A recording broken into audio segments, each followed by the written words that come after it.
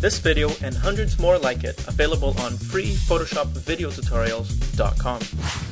In this video, we're going to learn how to modify the uh, the focal point of an image. So you have you know an image that has some maybe some stuff in the background, some foreground stuff. We're going to learn how to modify the light values of that image so that your viewer's eyes are more focused into one particular area, and you're making everything else darker so that you're only paying attention. The only thing that's essentially grabbing the viewer's attention is that one thing that you want to show them. So it's very powerful. And we can see here we already have a pretty good image here, but what we can do here is bring more attention here to the um, to the model here, and all the way down here to maybe the uh, to the shoulder, but have everything else uh, in the background a little bit darker so that she pops out more.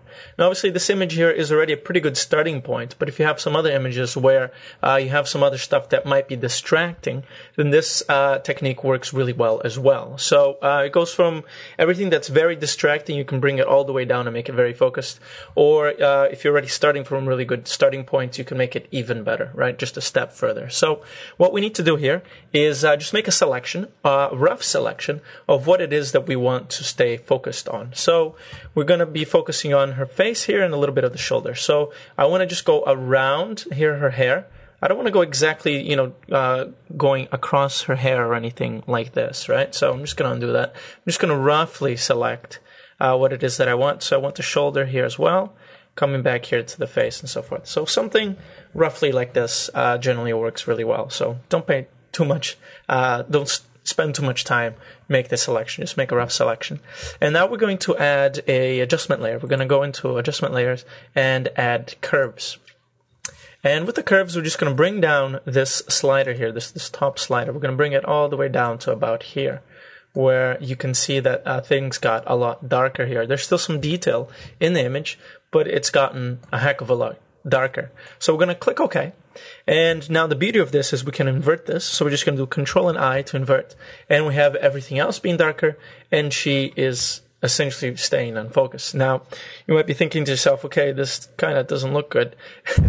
There's one more step to this, which is we, we're going to add Gaussian blur to this so that there isn't that much of a divide. So it just fades out this, uh, the, the difference between the light and the dark. So we're going to go into filter uh, blur and Gaussian blur.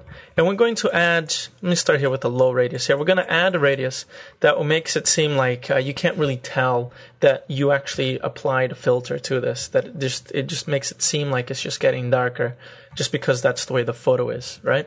So uh, the way that we do this is with a pretty high radius. Something around 40 to 50 usually works. If you go too high, then you start making everything too dark. So just uh, stay around uh, around 40 or, or so, depending on your image, maybe 30. I'm going to put in here 40 and click OK. And as you can see, we have here's the before and here's the after.